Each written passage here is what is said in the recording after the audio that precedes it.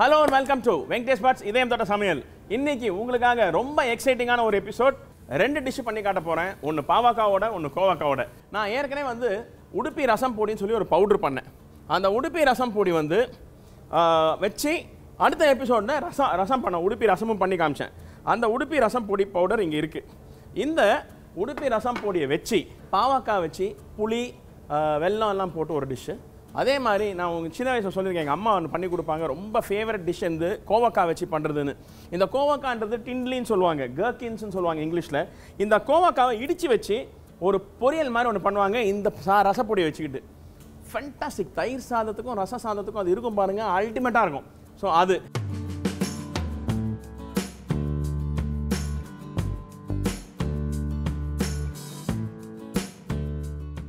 Okay இங்கே ஒரு கடாய் வச்சுருக்கேன்.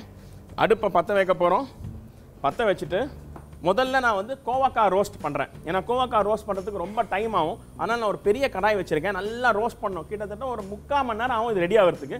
ஸோ அதனால் இந்த கடாயில் நான் அதை பண்ண போகிறேன் ஓகே இந்த பேன் இப்போ சூடாகிடுச்சு இந்த சூடான பேனில் ஒன்று ரெண்டு மூணு நாலு டேபிள் ஸ்பூன் எண்ணெய் ஊற்றிருக்கேன் நீங்கள் தேங்காய் எண்ணெய் ஊற்றினா ரொம்ப நல்லது. தேங்காய் எண்ணெய் இஸ் பெஸ்ட்டு இதுக்கு ஃப்ளேவருக்கு இந்த டிஷ்ஷோட ஃப்ளேவருக்கு வந்து தேங்காய் ரொம்ப நல்லா இருக்கும் நான் இங்கே ரெகுலர் ஆயில் யூஸ் பண்ணியிருக்கேன். பட் நீங்கள் தேங்காய் எண்ணெய் போடுறதுனா பெஸ்ட்டு இந்த சூடான ஆயிலில் ஒரு அரை ஸ்பூன் கடுகு. ஒரு மூணுலேருந்து நாலு காஞ்ச மிளகா. இந்த காஞ்ச மிளகா கடுகு பொரிஞ்ச உடனே ஒரு கொத்து கருவேப்பிலை. இந்த கருவேப்பிலையை போட்டோன்னு இங்கே நான் சும்மா உரல்ல இடித்து வச்சுருக்க கோவக்காய். இந்த கோவக்காவை போட்டு இதை நல்லா ரோஸ்ட் பண்ணுங்க.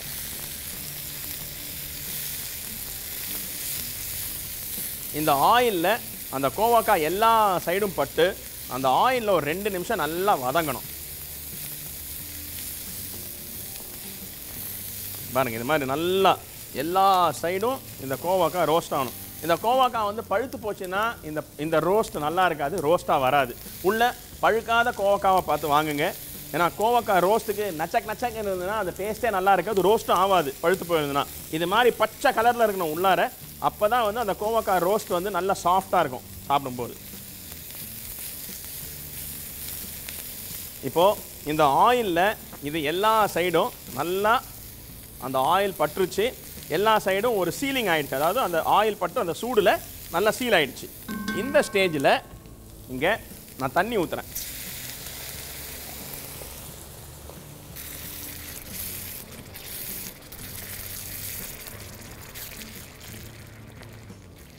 இந்த தண்ணியை ஊற்றிட்டு இந்த கோவக்காய் மெதுவாக பொறுமையாக இதில் வேகணும். ஏன்னா கோவக்காய் வேகிறதுக்கு கிட்டத்தட்ட பத்துலேருந்து பதினஞ்சு நிமிஷம் தண்ணியில் இது மாதிரி கொதிக்கணும். இது மாதிரி பொறுமையாக கொதிச்சிட்டு இருக்கிற நேரத்தில் இங்கே நான் மஞ்சள் பொடி வச்சுருக்கேன். ஒரு அரை ஸ்பூன் மஞ்சள் பொடி. மஞ்சள் பொடியை போட்டு இதை நல்லா மிக்ஸ் பண்ணி விட்டுறேன். இது ஒரு பத்து நிமிஷம் இது மாதிரி இந்த தண்ணியில் வேக போகுது இது வேகட்டும். இங்கே ஒரு பேனை பற்ற வைக்கிறேன். அடுப்பை பற்ற வைக்கிறேன். ஒரு பேன் இங்கே வைக்கிறேன். இந்த பேன் சூடாகும் போதே ஒன்று ரெண்டு மூணு நாலு நாலு டேபிள் ஸ்பூன் ஆயில் ஊற்றுறேன் இந்த டிஷ்ஷுக்கும் தேங்காய் எண்ணெய் போட்டால் ரொம்ப ரொம்ப நல்லா இருக்கும். இங்கே பாவக்காய் வச்சுருக்கேன். இந்த பாவக்காவை வெளிப்பக்கத்தை இது மாதிரி கீறி விட்ருங்க இது மாதிரி ரஃப்பாக கீறி விட்ருங்க நான் இப்போ ரெண்டு பாவக்காயில் பண்ணி காட்டுறேன் உங்களுக்கு. இது மாதிரி அவுட் சைடு ஏரியாவை இது மாதிரி கத்தியை வச்சு சுரண்டி எடுத்துருங்க. இந்த சுரண்டி எடுத்த பாவக்காவை இது மாதிரி சின்ன சின்ன ஸ்லைஸாக நம்ம வெட்ட போகிறோம் நடுவில் இருக்கிற இந்த சீடு பார்ட் இது மாதிரி சுரண்டி வெளியே எடுத்துடுறோம். இது மாதிரி கையில் இது மாதிரி சுரண்டி இதில் எவ்வளோ வருதோ அவ்வளோ வெளியே எடுத்துடுறோம். சைட் பை சைடு இந்த கோவக்காவை இது மாதிரி டாஸ் பண்ணிகிட்டே இருங்க. இங்கே இந்த பாவக்காவை இது மாதிரி சின்ன சின்ன தின் ஸ்லைசஸாக வெட்டிங்க. இது மாதிரி ஃபைன் சாப்ஸாக வெட்டுங்க.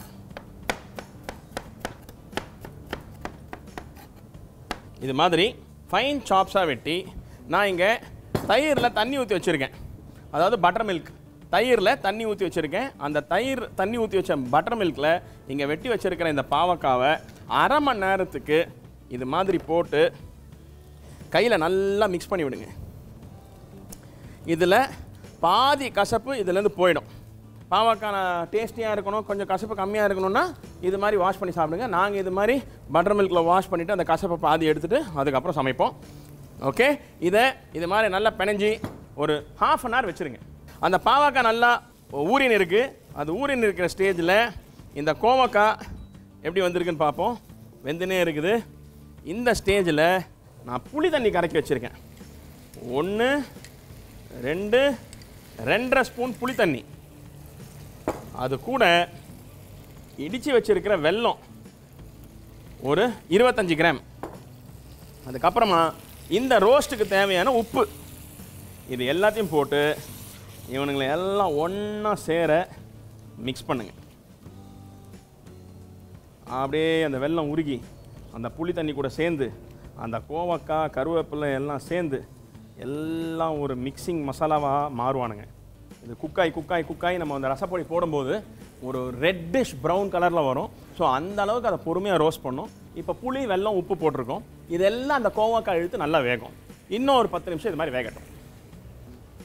இங்கே இந்த பேனை நம்ம ஆயில் ஊற்றணும் இல்லைங்களா? பாவக்காய் பண்ணுறதுக்கு அந்த ஆயில் சூடாயிடுச்சு.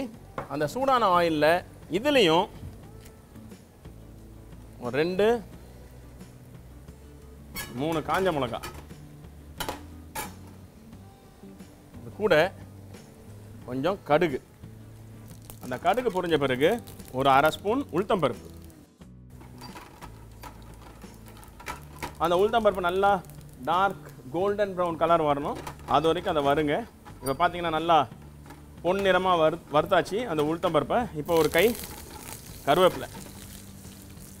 இந்த கருவேப்பிலையை போட்டுட்டு கேஸை ஸ்லோ பண்ணிவிடுங்க இப்போது இங்கே இருக்கிற பாவக்காய் இந்த பட்டர் மில்கில் ஊறி அரை மணி நேரம் ஆயிடுச்சு.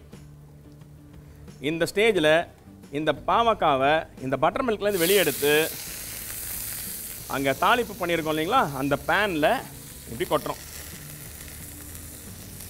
பட்டர் மில்க்லேருந்து எடுத்து பாவக்காவை கழுவாதீங்க. பட்டர் மில்க்லேருந்து டைரெக்டாக எடுத்து புழிஞ்சி இது மாதிரி போட்டுருங்க. இவன் ஒழுங்காக குக் ஆகட்டும். அவன் குக் ஆகிறதுக்கு எப்படியும் ஒரு இருபது நிமிஷம் ஆகும். இப்போ பாருங்கள் கோவாக்கா வந்து ஃபுல்லாக ரெடி ஆகிட்டான் இவன் வந்து ஃபுல்லாக ரோஸ்ட் ஆகி பக்காவாக ரெடி ஆகிட்டான் இந்த ஸ்டேஜில் இங்கே பாருங்கள் இந்த ரசப்பொடி வச்சுருக்கேன். இந்த ரசப்பொடியை ஒரு டேபிள் ஸ்பூன் எடுத்து இவன் தலை மேலே கொட்டுங்க. கொட்டி இவன் எப் எப்போ தெரியுமா போடணும்?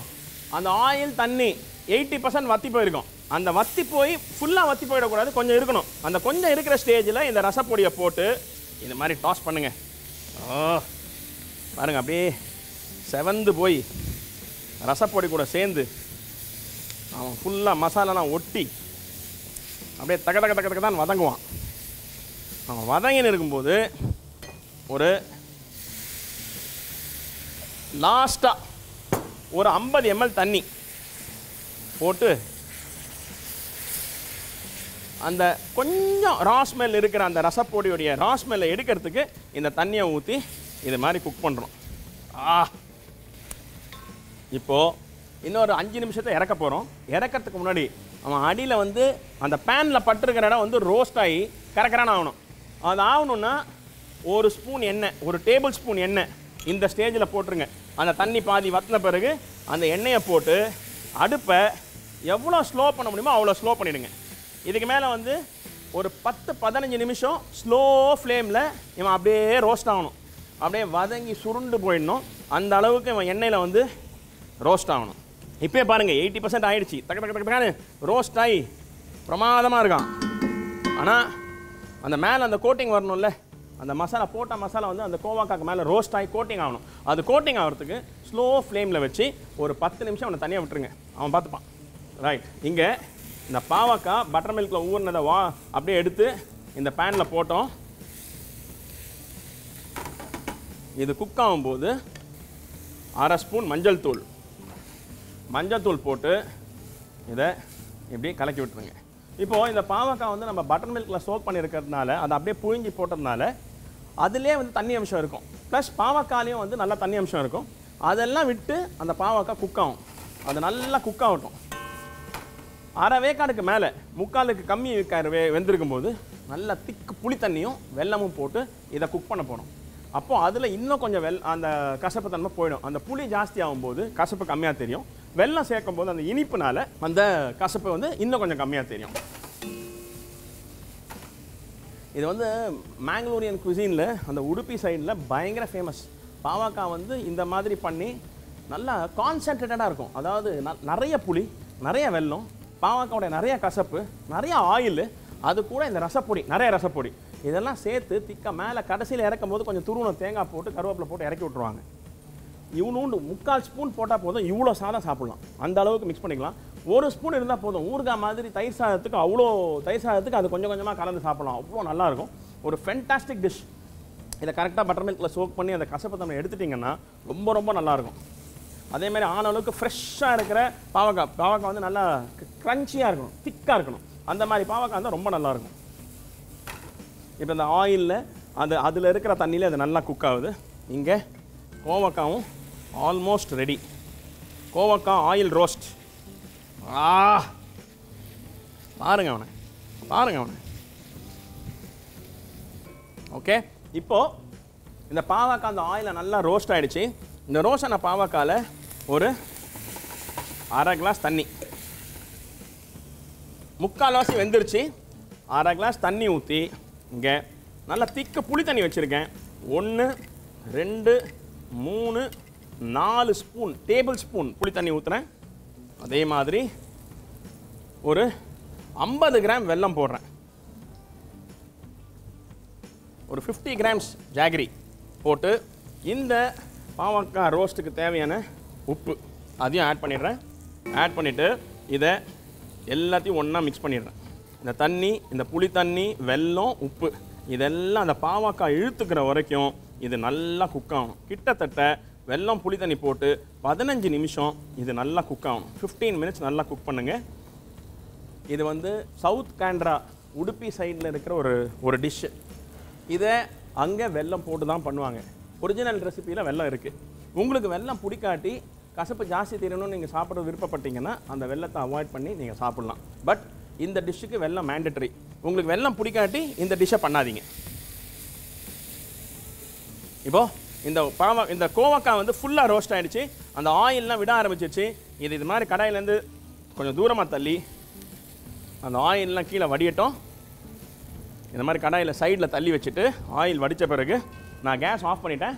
இதை அப்படியே அழகாக எடுத்து ஒரு பிளேட்டில் சர்வ் பண்ண போகிறோம் ஒரு ஃபென்டாஸ்டிக் உடுப்பி ரசம் பொடி கோட்டான ஒரு ஃபென்டாஸ்டிக் கோவக்காய் ஆயில் ரோஸ்ட் அதே மாதிரி எங்கள் பாவக்காவும் சூப்பராக அந்த புளி தண்ணி வெல்லம் சேர்ந்து நல்லா கொதிச்சிட்டு இருக்கு. ஒரு பதினஞ்சு நிமிஷம் இதை குக் பண்ண போகிறோம் இப்போது இந்த புளி தண்ணி போட்டு அந்த வெல்லம் அந்த புளி தண்ணி உப்பெல்லாம் பாருங்கள் அப்படியே சுண்டி நல்லா குக் ஆகிடுச்சு இந்த ஸ்டேஜில் நான் அந்த உடுப்பி ரசப்பொடி வச்சுருக்கேன். ஒரு டேபிள் ஸ்பூன் ஒரு அரை டேஸ்பூன் ஜாஸ்தி. ஒன்றரை டேபிள் ஸ்பூன் ரசப்பொடி போட்டுட்டு இதை நல்லா மிக்ஸ் பண்ணி விடுங்க. எப்படி இருப்பான் தெரியுமா? இனிப்பு புளிப்பு காரம் துவர்ப்பு. எல்லா ரசமும் இருக்குது இதில். அந்த அளவுக்கு ஒரு டேஸ்டி டிஷ் இது. பாவாக்காய் பிடிச்சவங்களுக்கு அவ்வளோ நல்ல டிஷ் பாவக்காய் பிடிக்காதவங்களுக்கு பாவக்காவை பிடிக்க வைக்கிற டிஷ் அந்த அளவுக்கு ஒரு ஃபென்டாஸ்டிக் டிஷ் கேர்ட் ரைஸுக்கு ஆகட்டும் ரைஸுக்கு ஆகட்டும் அவ்வளோ நல்லாயிருக்கும் அந்த ரசப்பொடியை நம்ம போட்டுட்டோம். போட்டு எல்லாம் ஒரு மாசாக குக் ஆகுது பாருங்கள் அவ்வளோதான். ஒரே நிமிஷம். ரசப்பொடி போட்டு முடிச்சாச்சு. இப்போது இறக்கறதுக்கு முன்னாடி ஒரு கால் தேங்காய் ஒரு மூடியில் கால் தேங்காய் துருவல் அது மேலே போட்டுட்டு இறக்கறதுக்கு முன்னாடி தேங்காய் எண்ணெய் ஒரு டேபிள் ஸ்பூன் போட்டுட்டு ஃப்ரெஷ் கருவேப்பிலை. இது மாதிரி போட்டுட்டு இதை இப்படி பெரட்டுங்க. ஒரே ஒரு பெரட்டு. அந்த ஆயிலும் அந்த கருவேப்பிலையும் அப்படி அப்படி பெரட்டினோடனே கேஸ் ஆஃப் பண்ணிவிடுங்க அவ்வளோதான் அந்த தேங்காய் போட்டு நிறைய நேரம் குக் ஆகக்கூடாது. ஒரே நிமிஷம்தான். குக்காக இந்த கருவேப்பிலை கூட சேர்ந்து ஒரு கோட்டிங் ஒரு ஃபென்டாஸ்டிக் பாவக்காய் ரோஸ்ட் கோவக்காய் ரோஸ்ட் உங்களுக்காக இதயம் தொட்ட சமையலில் ரெண்டு டிஷ்